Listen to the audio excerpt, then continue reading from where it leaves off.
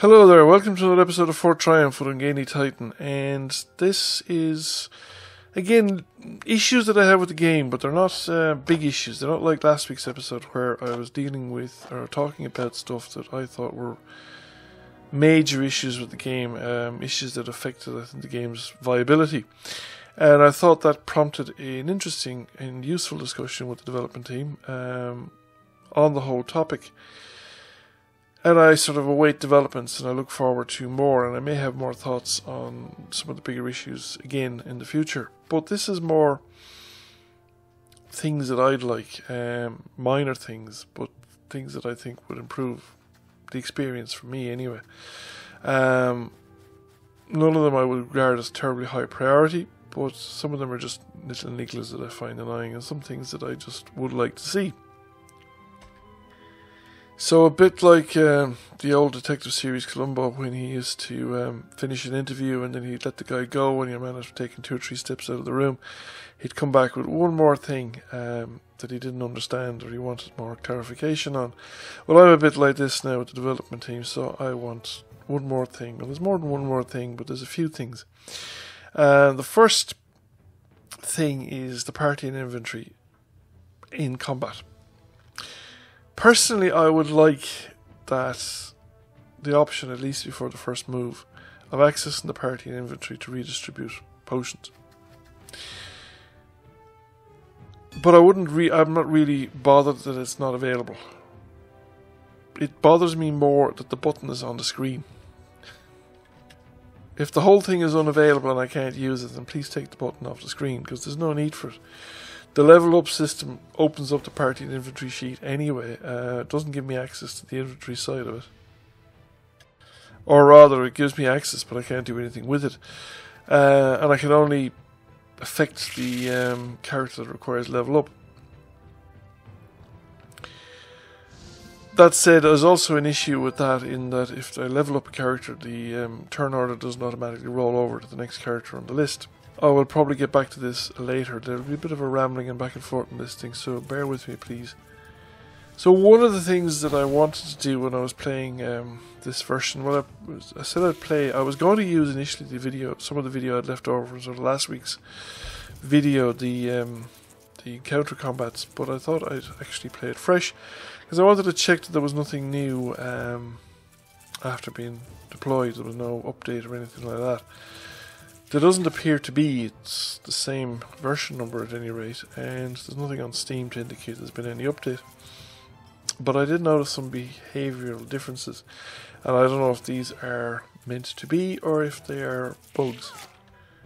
But the effect of the other thing that I wanted to talk about, which is specifically the charge skill and the whole business of character skills and the leveling up process and things like that. Um, so one of the things that I've been thinking about is that the charge, in my own opinion anyway, the charge strikes me as very situational and um, to be of much use because it doesn't do any damage. It isn't supposed to do any damage, at least by default, and um, it does eventually. I think if you go up high enough on the charge um, skills, the different um, levels of it. So your character is leveled up high enough, you will do some damage on a charge, but it's not designed to do damage. It's more removes cover and causes things to move, uh, which means that you really need to have stuff set up so that there's somebody there to either make it an opportunity attack or a um, an Overwatch attack when something moves. And then I noticed this happening. Um, I kicked the critter and instead of the critter bouncing over and sliding into the other guy and bouncing him off the wall and everybody being stunned, he died.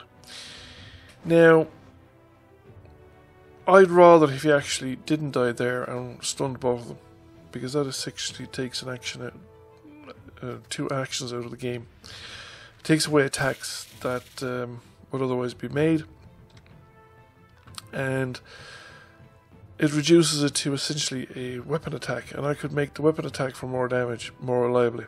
Uh, so I'd rather the kick to actually kick and move things. Uh, I've also had a couple of incidents where I hit uh, boxes and destroyed the box or destroyed a rock and didn't actually move the rock, or um, and it didn't affect the creature on the other side of it. So I'd rather the kick to be definite movement and the opportunity for stunning rather than um, a damage dealer. So I'd rather reliable movement with unreliable damage, uh, or even no damage, than unreliable movement. That's just my own thing, but that gets me back to the charge. Now, because there are three, is it three or four options to level up charge, there's obviously the developers think has got a lot of utility. Um, I didn't kind of see it, and um, or at least like I said, without a certain setup. And what was I going to say? The charge, um, but it's possible that there's utility in the charge that I'm also missing. Uh, it wouldn't be the first time that I've been completely oblivious to options and capabilities in a game. Um, and gone for a long time being oblivious to options and capabilities in the game. I'm old and crap and I do stuff like that. And be honest with you, I did stuff when I wasn't old and crap as well. Um, I can get a bit single minded and one uh, set, should we say, or uh, fixated on the way things uh, happen and the way I'm expecting things to happen without necessarily looking or examining all the possibilities. But if the charge is, as I think, best used, so we say, last, so that you set everybody up to take advantage of the fact that you're going to make a charge um, and to react on the force movement or the disappearance cover or both, um, it would be nice to be able to change the turn order of your party. The sequence in which each party member uh, activates so that I could make Ruby say, last in a particular combat because I want to make use of charge because of the way the environment is set up or the number of enemies or whatever. Um, rather than having to go first and then having to manually um, shift the combat around by selecting each character manually, that I could just set it up for the, the whole uh, battle in the way I want it for that particular battle. Not a big deal and not essential, but it would be a nice to have. Um, it would also be nice, I said, like I said, if you do the level up, it automatically moves on to the next character in the initiative order. As distinct from just stopping and you have to um, go and manually select the next character in the initiative order anyway. Um, so let's see, I've written these stuff down because I would forget or I'd be repeating myself rambling around the place. So we've covered inventory, kick, charge, initiative, abilities. Um, when we're on the business of charge, I just wanted a quick comment on the whole abilities thing. I think the current direction is good. It's better than the original um, direction of fixed limited abilities, but I think it should be expanded further. Um, I think there should be more than one possible build for each character, so that you could. Um, um, I don't know exactly what would be optimal, but like, for instance, you could have maybe the ranger as a DPS or a mob control, or the wizard as area damage, or again mob control, stuff like that, uh, or moving environmental effects or changing environmental effects or but it'd be either or, you pick one or the other, or maybe hybrids. But in conjunction with that, and even in the current system, particularly at low levels, because it, as you get to the high levels, you potentially have, you'll finish up with pretty much every skill that's of currently available. Will finish up on your toolbar as available to you, at least at some level. You mightn't have it maxed out, but you'll have it. Um, I think that it would be um, interesting and big addition, big uh, attraction to the game if you had optional variable builds for the different characters, uh, where you choose between one t- one direction or another, or mix and match depending on how it is. But you there's certain trades off. You can you can take a skill of a particular type, but you can take say a physical skill of a particular type, but you can't take the other path because you've taken one, not the other. Um, a bit like the way it's done in um, actually in XCOM, where you you know you go down, you have two sides. So, for instance, if you're um, what do they call them, the the guys with uh, the support guys, you can take um, heals or you can take um, stimulants and smoke and that sort of stuff. Um, a bit like that with this. Um, so you have a trade-off between one side and another, but the other side of that is an, uh, is a rebuild that you either can rebuild at will or if the developers prefer and think it might be more interesting. I mean, I would have no problem with having to spend a resource like magic to rebuild a character, but it would be useful, I think, to rebuild a character. Even as it stands, even as the skills stand, I think it would be very useful to be able to rebuild a character, particularly at the intermediate levels when you're three or four levels in. The skill you've chosen to build mightn't be the optimal uh, for your playstyle, and um, like me in the charge.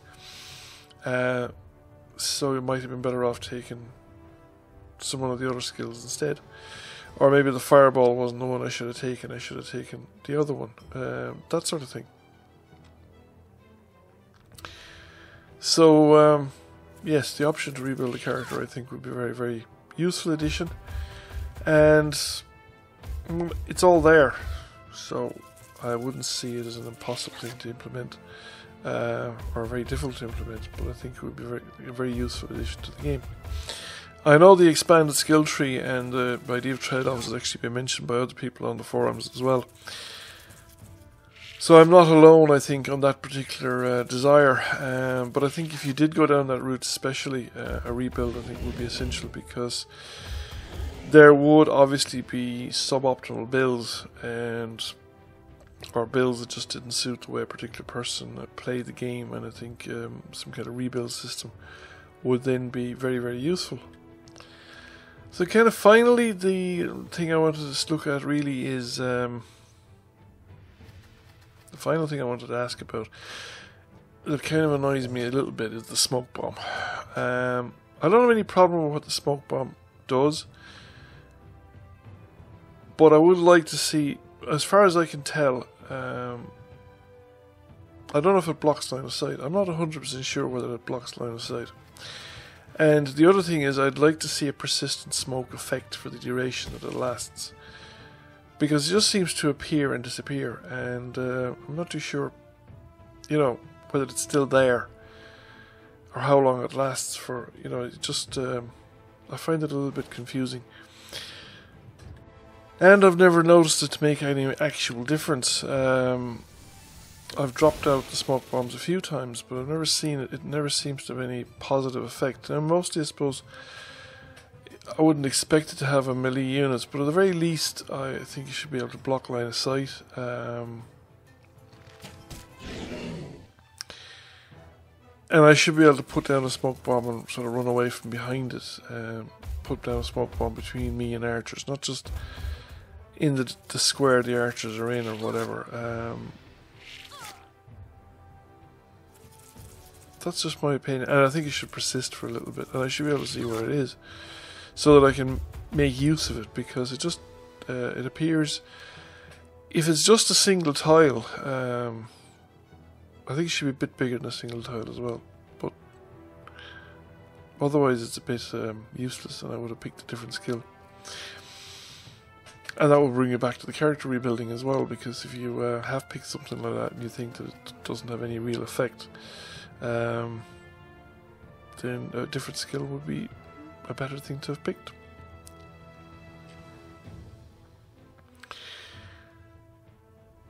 I also am just wondering do we have um, too many skills at the moment? The skill system, in my opinion, should have some interesting choices and there should be um, trade offs. Um, you shouldn't get everything, I think even eventually. There should be trade offs to be made along the route.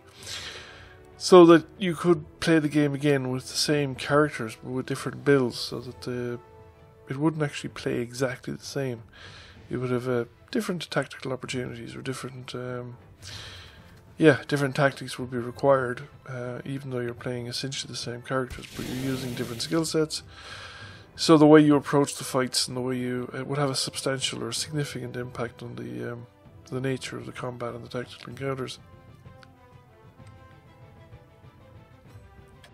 So, in summary, my modest list of wants and desires is that I would like to be able to access the inventory at least at the start of combat, or else not see the party inventory button in the thing at all uh, during the combat to remind me that I have tough luck, that I was uh, out of luck. Um, I am wondering about that kick not moving things. I'd prefer to reliably move things and reliably have the opportunity of stun attacks.